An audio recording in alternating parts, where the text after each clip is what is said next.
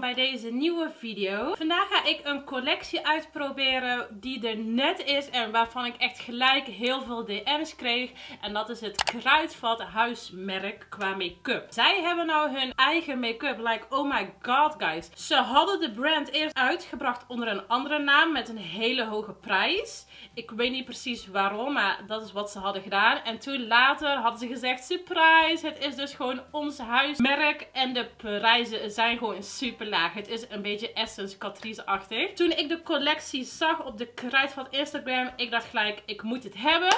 Het kwam vrijdag online op de website en afgelopen maandag kwam het in de winkels. Ik heb het gelijk die vrijdag online besteld bij de Kruidvat website. Dus ik heb het gewoon gelijk besteld toen het kwam. In verband met corona weet ik niet echt of de Kruidvat winkels open zijn. I'm not sure, misschien wel. Maar je kunt de make-up in ieder geval sowieso online bestellen. Wat vinden we trouwens van mijn acryl? Ik heb het weer kort, kijk. Ik heb zo wit chroomachtig gedaan. Ik vind het echt super mooi. Maar in ieder geval, ik heb de hele collectie besteld. Ik heb van alles één ding besteld. Dus ik heb niet letterlijk alles besteld wat ik niet ga gebruiken. Maar gewoon voor elke categorie heb ik gewoon mijn kleur besteld. Of de kleur die ik zou willen gebruiken. Dus ik heb de hele collectie hier. Behalve één ding, by the way. Maar daar gaan we het zo meteen verder over hebben. Vind je het nu al leuk? Vergeet niet te liken en te abonneren. En dan gaan we snel beginnen met de video. Ik heb dus de hele collectie hierin. Het enige wat ik niet heb besteld is een liquid highlighter. Dit omdat ik gewoon letterlijk mijn geld niet wilde gaan verspillen. Elke keer bestel ik die en ik gebruik het gewoon niet. Ik gebruik het letterlijk nooit. Echt nooit. Dus ik dacht, ja, waarom zou ik het uh, halen? Maar in ieder geval, mocht jij dat wel gebruiken, die heb je ook. Voor de rest heb ik echt alles. En um, ik ga beginnen met de ogen. Nee, ik lieg. Ik ga beginnen met de wenkbrauwen. Want ik heb hier een Made to Stay Fixing Brow Gel in dit mooie kleine witte verpakkingje. Deze was ook heel goedkoop. En dit is dus een wenkbrauwgel. En ik heb hem in de kleur transparant, dus zonder een kleur. En dit is hem dan zo heel klein. Dus deze ga ik even in mijn wenkbrauwen doen. Oeh, hij voelt heel gelachtig aan. Ja, het is ook een gel, maar het voelt echt letterlijk aan als haargel. Ik vind hem ook fijn, want zoals je kunt zien, hij trekt de haartjes echt omhoog. Kijk dat doet niet elke wenkbrauwgel, dus dat is wel fijn. En hij heeft dus geen kleur en dat vind ik ook toppie. Nou, dat was heel snel. Ik ga nou beginnen aan de ogen. Ze hebben twee oogschaduwpaletjes. Ik laat ze even hier zien. Er is een hele prachtige bruine naturel en een beetje een meer zwart-grijze cool toon. Toen ik de paletjes zag, ik dacht echt gelijk, oh mijn god, die bruine nude is echt geweldig. En ik denk dat de meeste van ons ook die zouden halen. Maar ik dacht, weet je, ik denk dat er genoeg video's gaan zijn van mensen die dat paletje hebben gehaald. Laat me mij anders doen en laat mij het paletje halen die waarschijnlijk minder gaat worden gehaald. Want dan kun je ook een look zien met dit paletje. En ik vind hem echt prachtig. De kleuren zijn echt heel erg mooi. En het zijn vooral matte kleuren, maar ook een paar glanzende kleuren. Het paletje ziet er niet echt heel heftig uit. Vooral de glanzende kleuren, zoals deze hier en hier, zijn glanzend. Er zit niet echt super, super veel glans of zo. Ehm, en alles is een beetje cool tone. Dus zoals je kunt zien dus ik wil hiermee een leuke smoky look gaan maken. Dus we gaan inzoomen op de ogen. Ik ga weer eerst beginnen met primen met mijn Colourpop Concealer in de kleur Light 16. Ik ga beginnen met een beetje zwarte-achtige kleur. En die breng ik aan over mijn hele ooglid. Want ik wil een beetje een smoky look maken vandaag. Dan ga ik het een beetje blenden met de blauwe matte kleur hier op beneden. En dan ga ik een beetje zo blenden bij de randen. Ik pak even een normale fluffy kwast. En dan pak ik ook nog de lichte kleur hier. En die ga ik gebruiken om echt te blenden bij de randen. Om het mooi soft te maken en mooi smoky. Ik verander echt honderd keer van kwast. Ik moet zeggen, de kleuren blenden echt prima mee. Ik had wel iets meer pigment gewild, dat wel. Maar het blendt top. Zo, en door al dat geblend is de kleur hier een beetje minder geworden. Dus ik ga weer in met die kleur. En die druk ik er dan weer hier zo een beetje in. Zo, lekker smoky. Dan wil ik ook nog ingaan met de glanzende kleur hier. De glans is echt heel minimaal. Hij swatcht wel gewoon mooi-achtig. En die breng ik aan met mijn vinger gewoon hier zo random. Een beetje zo in het midden. Maar zoals ik al zag in het paletje, de glans is echt heel minimaal. Het is gewoon vooral een matachtig paletje. Dan pak ik ook de witte matte kleur hier. En die breng ik een klein beetje aan onder mijn wenkbrauw. Dit paletje is echt voor mensen die van, uh, die van matte houden. Dus absoluut niet glitter, want ook de glanzende kleuren zijn heel minimaal. Er komt wel echt kleur van af, zoals je denk ik wel kunt zien. Ik heb het zo hier helemaal in het midden aangebracht. Ik vind het look mooi, het uh, kostte me niet veel effort. I like it. Dan heb ik ook nog de Infallible Flicks pen. En hiermee wil ik een mooie wing gaan maken. Ik hoop dat die goed gaat zijn. Het is gewoon echt zo'n pen. En volgens mij is hij zwart en mat. Ja, hij is mat en er staat op dat hij 12 uur lang goed moet blijven zitten. Nou, één wing is gemaakt. Het ging niet heel goed. Hij is echt super droog. Ik weet niet wat het is. Nou, mensen, er komt echt gewoon bijna niks van af. Kijk dit. Hier lukte het nog net, maar wanneer ik het ook zo doe op mijn uh, hand, er is gewoon bijna geen inkt hier op de punt. Alles komt echt vanuit hier beneden. Kijk hè, er komt gewoon bijna niks van af. Kijk dit. Ik weet niet wat ik hiermee moet. Ik ga even, even kijken wat ga ik gebruiken. Een andere pen van Catrice, de Gallicraft Pro. Dus ik ga even hiermee een wing maken, want het lukt gewoon letterlijk niet met die andere. Oké, nou die pen was echt een faal. We gaan verder met mascara. Ik heb de Lash Define Skinny Mascara. Ze hadden er wel echt een aantal. Maar ja, ik weet niet. Ik heb gewoon eentje gepakt. En dat is de Skinny. En die is ook zo super dun. Kijk even dit is dit niet echt de meest dunne mascara ever. Staat er verder iets op. Ja, er staat dus dat zo'n mascara ideaal is voor mensen met korte wimperhaartjes. Nou, als er iemand is met de meest extreme korte wimperhaartjes, ben ik het wel. En ook geschikt voor gevoelige ogen. Oké. Ik heb al ooit zo'n dunne mascara gehad. En ik gebruikte die altijd voor de onderste wimpers. Daar was die echt ideaal voor. Wow, dit heeft gewoon echt nut. Kunnen we het zien? Ja, ik heb dus echt gewoon bijna geen wimpers. Maar hij pakt ze echt heel goed vast. Hij trekt ze ook zo mooi omhoog. Ik zie echt verschil, jongens. Ik had het niet verwacht. Ik dacht dat dit echt niks ging zijn, maar I like it. En ik denk ook echt weer helemaal ideaal voor de onderste wimpers. Hij pakt ze echt zo helemaal goed vast. Kijk. En je komt ook zo heel goed hier zo in de binnenste ooghoek. Als nep wimpers ga ik mijn AliExpress wimpertjes opdoen. En dan kom ik zo bij jullie terug. Daar ben ik weer. Wimpers zitten er helemaal op. Ik ga nou beginnen aan het gezicht. En ik ga beginnen met een primer. Ik heb hier de Beyond Gold Olie Gold Primer. Heel mooi. Het is een beetje een olietje. En je kunt hem dus gebruiken als primer. Ja, en het moet ervoor zorgen dat je gezicht mooi egaal wordt en straalt. Dus deze ga ik even aanbrengen. Ja, mensen, het is gewoon straight up een olie. Oké, ja, mijn huid is droog tot normaal. Dus in principe, ik vind het altijd wel fijn. Ik weet alleen niet of dit verder iets doet voor egaal maken of zo. Het is gewoon letterlijk, het maakt het gewoon minder droog. Dus als je een hele droge huid hebt, dan vind je hem vast super fijn. Ik zie ook echt dat hij glanst. Ik denk dat het ook wel gewoon te zien is bij jullie. Hij ruikt ook lekker. Oeh. Maar ja, ik denk voor een vettige huid, ik weet niet of je het dan heel fijn gaat vinden. Dus het is gewoon echt letterlijk alleen maar een olie. Ik heb er dus al zo eentje van de Hema B collectie. Alleen ja, de kleur is anders. En die vind ik ook heel erg fijn. Maar ik weet dat het soms ook voor een vettige huid fijn is om een olie te gebruiken. Dat heb ik wel eens gehoord in video's. Ik weet er verder niks van, want ik heb geen vettige huid, maar dat dus. Dan ga ik verder met een foundation. Ik heb er twee, of ik heb er één in twee kleuren, want ik wist niet precies welke kleur ik moest hebben. Dit is de Stay With Me Whip. Ik heb hem dus in de kleur 40 en 20. Ik moest het dus online bestellen en je kon echt absoluut bijna niet zien welke kleur je moest hebben. Maar het is super goedkoop, dus ik heb er gewoon twee besteld. Als ik er zo naar kijk, denk ik 40, but I'm not sure. Het is dus whipped. Dat is een beetje weer zo moesachtig. Ja, jullie weten, ik ben daar echt totaal niet van, maar we gaan het gewoon proberen. Dit zijn dus de twee kleuren. Kleur 40 is hier en kleur 20 is hier. Oké, dit zijn de twee kleuren. Ik denk dat kleur 40 het beste gaat matchen. Kleur 20 is een beetje licht. Dus ik ga voor kleur 40. Oh, by the way, misschien goed om te weten. Al hun make-up is vegan. Dat is ook wel fijn om te weten, denk ik. Dan breng ik het gewoon zo een beetje aan.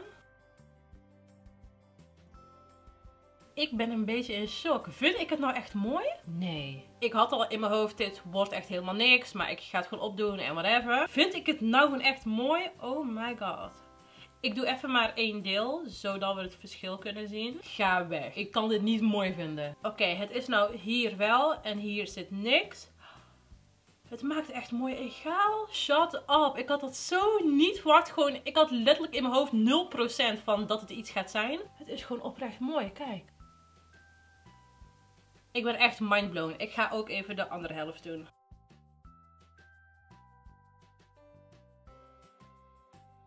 Ik ben echt in shock. Echt prachtig. Het ging er echt heel smooth op. Gelijk al. Ik ben echt een beetje in shock.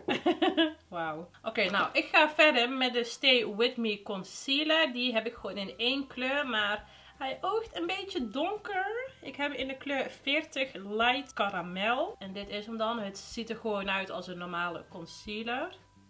Ja, ik had een iets lichtere kleur moeten doen. Maar maakt niet uit.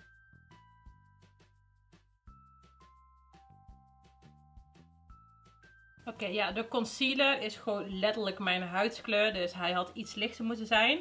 Voor de rest, er staat op dat hij opbouwbaar is. Dus dat ga ik proberen. Dus ik breng even hier iets meer aan.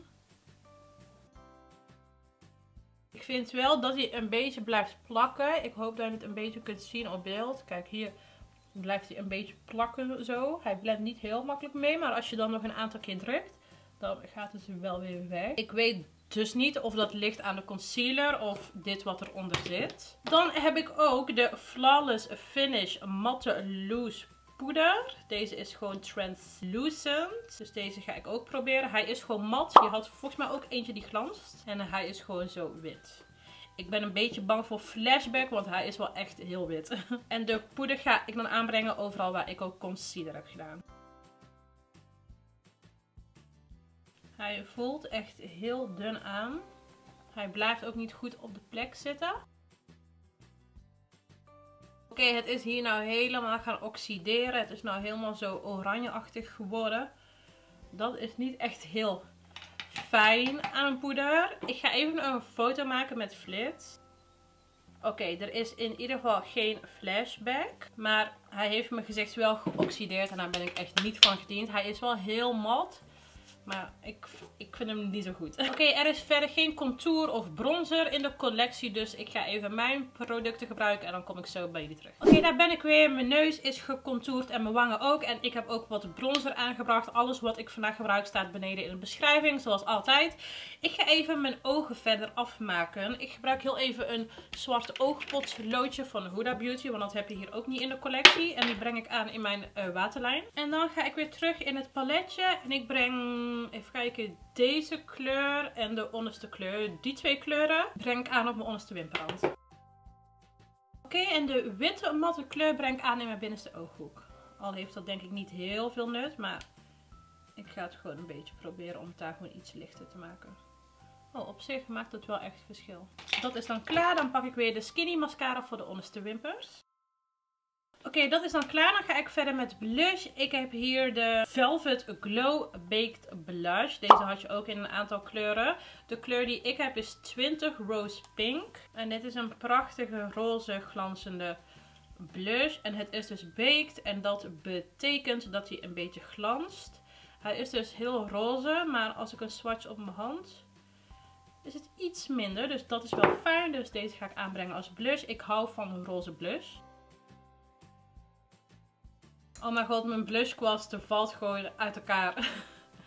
ik moet denk ik even een andere halen. Love de blush. Wat er ook niet is, is een highlighter. Dat vind ik wel jammer. Ja, als je dan echt een hele collectie maakt, maak dan ook echt alles. Als highlighter gebruik ik nou mijn Essence de highlighter in de kleur 10. En dit breng ik dan ook aan hier in de binnenste ooghoek extra glow. Want die witte kleur is gewoon mat, dus die geeft niet echt een glow. En dan zoals altijd ook weer een beetje zo op mijn neus. Vreemd genoeg is er ook niks voor de lippen. En dat is wel echt heel vreemd, want echt elke collectie van elke brand die een collectie uitbrengt, is er wel iets voor de lippen. Maar ze hebben gewoon niks voor de lippen. Geen lipstick, geen lipgloss, helemaal niks. Zover ik heb gezien is er niks voor de lippen. Dus ik moet maar gewoon weer iets gebruiken van mezelf. Ik denk dat ik vandaag in plaats van nude ga voor een beetje een donkere lipkleur. Ik ga voor het donker paars en ik heb hier twee producten van Essence. De Essence Lip Pencil in de kleur 11. En dan heb ik hier ook de Essence This Is Me lipstick in de kleur 8. Deze heb ik ook net nieuw. Zo, dit maakt de look ineens heel donker. dit is echt een perfecte match. En als laatste wat ze wel hebben is een setting spray. En ik heb hier de Make Me Last Setting Spray. Beetje schudden. Ik vind de verpakkingen ook allemaal heel mooi. Zo licht roze nude-achtig. Even kijken. Dit is een matte setting spray. Dus ideaal voor de vettige huid. Je had ook een glanzende spray. Je zou denken voor mijn huid dat ik die zou pakken. Maar ik wilde gewoon een beetje gaan vermatten. Dus ik heb de matte gepakt. En dan zijn we klaar met de look.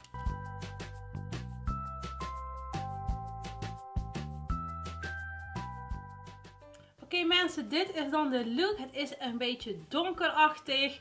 Een beetje Adams Family-achtig. But I like it. Ik ga ook de make-up er de hele dag op laten. En dan aan het einde van de dag kom ik weer terug om te zien hoe alles er nog op zit. Wat vind ik tot nu toe van alles? Dit oogschaduwpaletje. Oké, het is gewoon een oké paletje ik vind de look heel mooi. Je kunt er alleen niet echt heel veel mee doen. Ik denk dat je hier vooral alleen maar echt smoky looks mee kunt maken. Zoals ik vandaag had, heb gemaakt.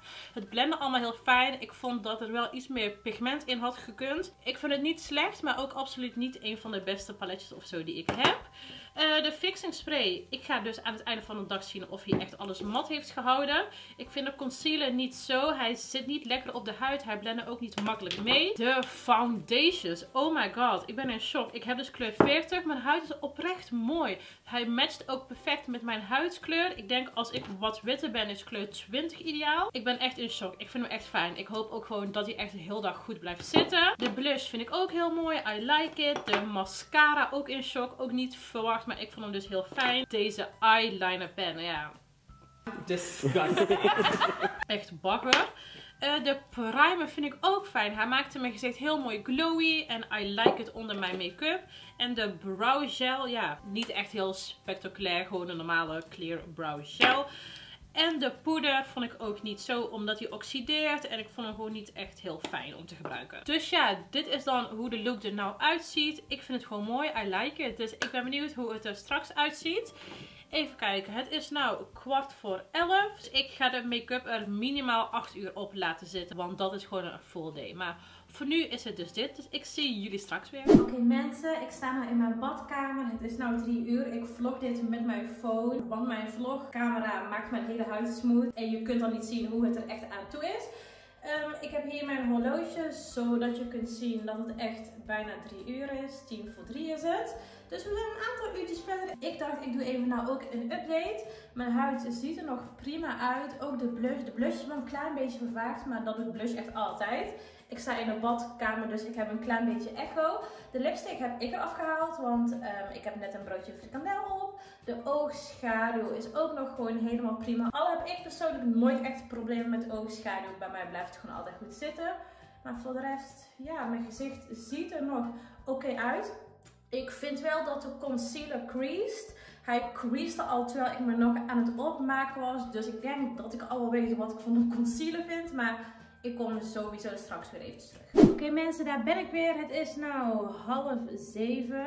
Wacht, ik ga het weer even zo laten zien.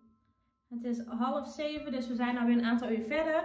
Ik ga nou mijn make-up eraf halen. Ik wilde het nog even laten, maar ik zit al de hele dag thuis aan het editen, want corona. En ik ben eigenlijk nou klaar en ik wil in bed gaan Netflixen en dan straks slapen. Dus ik heb er weer genoeg van, dus ik wil mijn make-up eraf halen. Alles zit eigenlijk nog gewoon best wel goed. Mijn huid ziet er nog oké uit. Het is wel hier een beetje gaan frommelen. Hier ook, maar ik heb hier gekrapt, dus dat komt door mij. Hier ook een beetje op de standaard plekken waar het er normaal ook afgaat. Ik moet wel zeggen, ik weet niet. Ik vind niet dat de foundation mooi zit op de huid. Um, Ik had het al toen straks door. Nou is het nog heftiger geworden. Ik vind dat het allemaal een beetje opfrommelt of zo.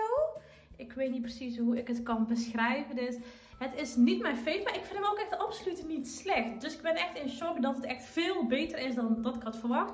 De concealer is ook niet echt mijn fave. Die ga ik ook niet meer gebruiken.